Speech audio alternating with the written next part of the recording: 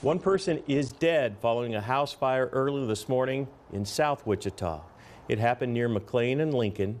Firefighters were only able to search one bedroom of that home as the rest of it was engulfed in flames.